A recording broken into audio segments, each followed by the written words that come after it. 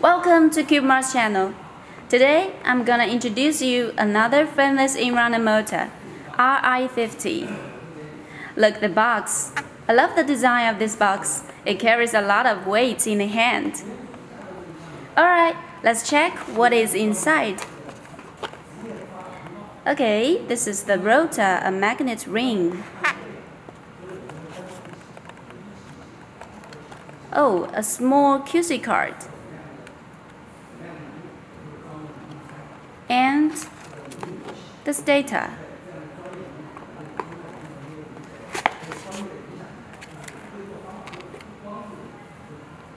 This is the rotor.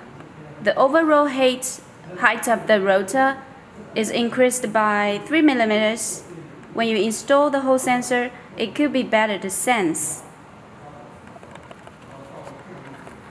and this stator with beautiful coils um, with excellent fill factor for high torque density, lower cogging torque, easy for servo control. And this is the three-phase wires with different colors. RI50 is the smallest one among the RI series. This motor is also designed for robotic arm, medical equipment, and other applications.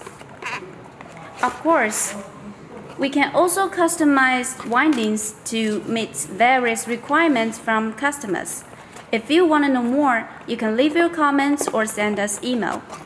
Alright, if you found this video useful, please like this video and subscribe to our channel. Thank you!